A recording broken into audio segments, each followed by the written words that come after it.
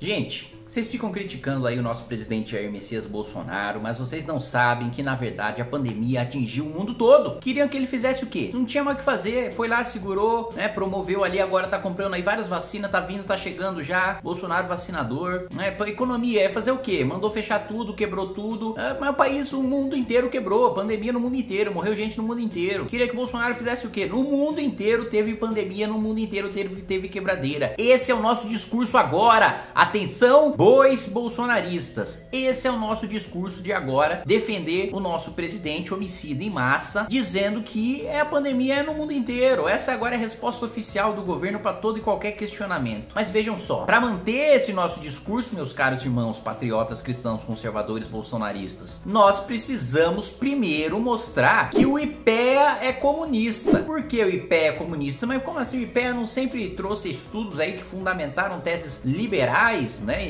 Não é o IPEA não é, não é um instituto respeitadíssimo, né, pela sua imparcialidade, pela sua precisão técnica nos estudos. Não tem um, pô, tem membro do IPEA no governo, Bolsonaro, fazendo política econômica, etc. E aí? E aí, Kim, qual é? Pois muito bem. Antes de continuar com esse vídeo, você saber por que, que o IPEA é comunista, você já sabe o que você vai fazer, né? Você vai fazer o cálculo macroeconômico de demanda agregada em cima do botão de se inscrever no canal. Você vai misturar o consumo das famílias, com o gasto do governo, com o investimento das empresas, com o resultado do balanço comercial, da balança comercial, para chegar no produto interno bruto do sininho para receber as notificações. Muito bem. Diz o estudo do IPEA: Brasil teve mais mortes por Covid-19 e mais desemprego do que a maioria dos países. Isso é uma análise técnica do IPEA demonstrando o seguinte: o levantamento mostrou que o Brasil registrou proporcionalmente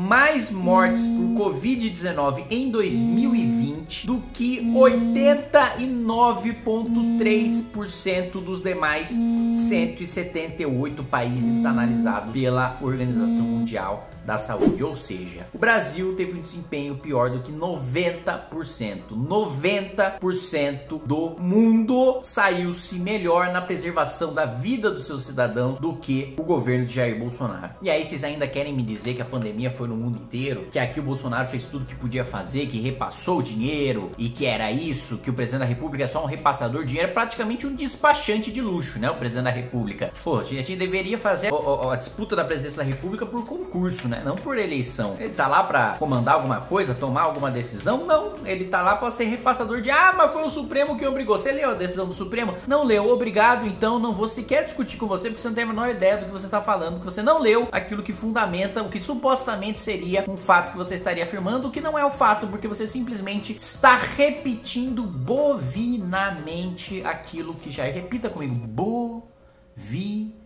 na mente aquilo que o seu mito Jair Bolsonaro diz. E mais, né? Mas, ah, pelo menos nós já se preocupa com a economia, né? O pessoal morreu aí, não sei o que, mas fome também mata, né? Desemprego também mata. E aí o negócio era preservar a economia, né? Isso que sempre, como, como os ministros de Jair Bolsonaro dizem, né? O nosso presidente sempre disse que sim, preservar vidas, mas também economia. Muito bem, economia. O Brasil registrou queda no nível de ocupação, ou seja, aumento no desemprego, mais intenso do que 84,1% dos demais 63 países analisados pela OIT entre os últimos três trimestres de 2019 e de 2020. Ou seja, o óbvio. O, tem um estudo, é um estudo para afirmar o óbvio, por quê? Porque a gente precisa ter fundamento técnico, ter dado, ter fato para esfregar o óbvio na cara de gente que prefere, em vez de enxergar o óbvio e de fazer um, um raciocínio lógico simples dentro da sua cabeça, prefere enfiar a sua cabeça dentro de um orifício metafísico, um orifício metafísico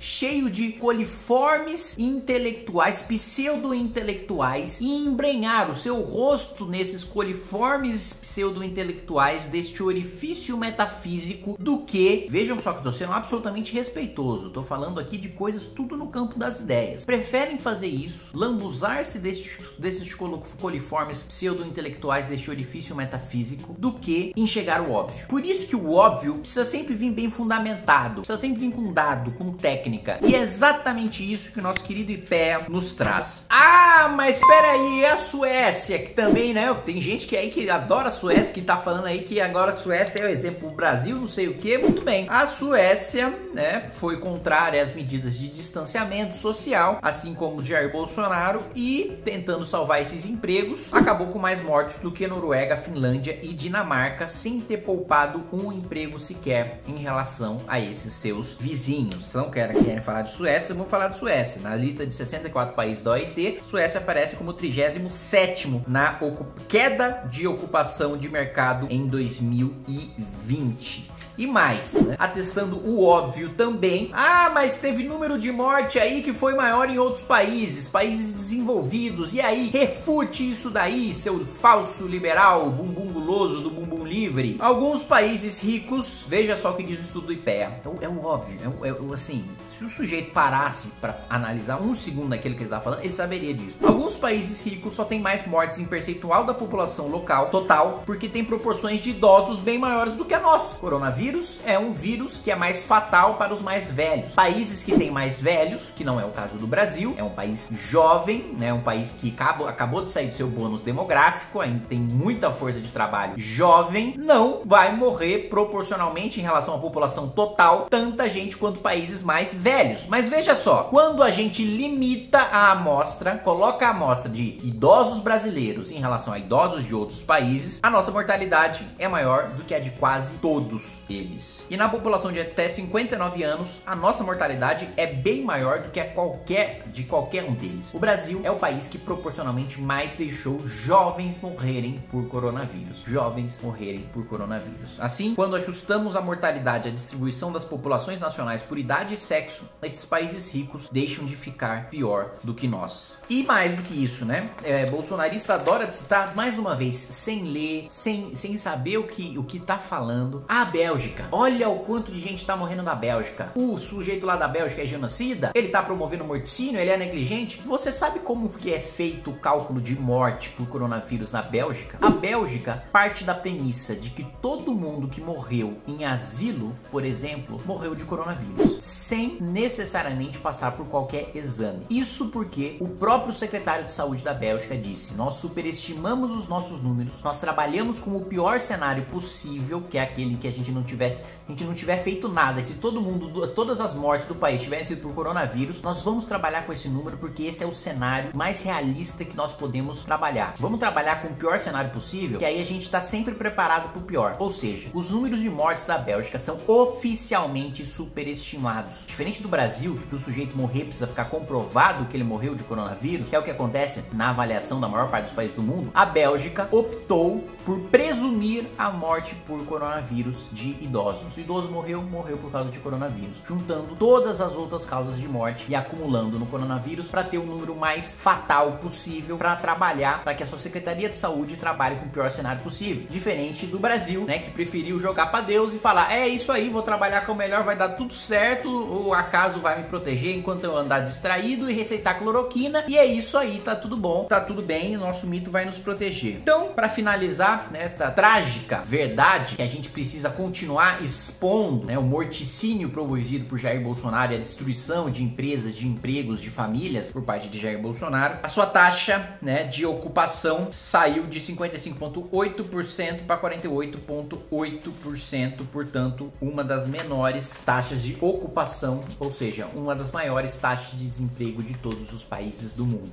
O mundo hoje se recupera. E isso aqui eu tô falando só de 2020, viu? Estudo IPE 2020. 2021, meus amigos, o mundo se recupera da pandemia do coronavírus e nós já estamos, caso os senhores não estejam cientes, uma terceira onda. Os hospitais hoje já são obrigados a lidar com terceira onda de internações. Eu conversava dia desses, né, como vocês sabem, eu estou muito presente em fiscalização e sempre dialogo muito com gestores de hospitais para os quais eu destino emendas para saber como é que está a situação desses hospitais, como é que as, essas emendas estão sendo destinadas para quem, estão beneficiando quantas pessoas, como é que está a inflação né, da, dos preços na, na, de insumos hospitalares. Eu tô sempre muito ligado nessa área porque a maior parte parte dos, dos meus recursos das minhas emendas parlamentares, em vez de usar para comprar trator, eu uso para insumos né, médicos hospitalares que eu contribuo com esses hospitais, né, com muito orgulho. E um gestor né, de um hospital estadual, um dos maiores hospitais estaduais aí do estado de São Paulo, disse que eles estavam utilizando né, o pronto-socorro e a enfermaria como UTI, leitos de enfermaria e do pronto-socorro, né, cerca de 20 leitos né, que deveriam ser para casos mais leves, moderados, é, utilizando UTI Covid, porque os casos mais leves e moderados, mesmo, aquele com, mesmo aqueles com potencial de se tornarem graves, eles não estavam conseguindo manter nas enfermarias e nos pronto-socorros, porque não havia leito suficiente para isso. Isso tudo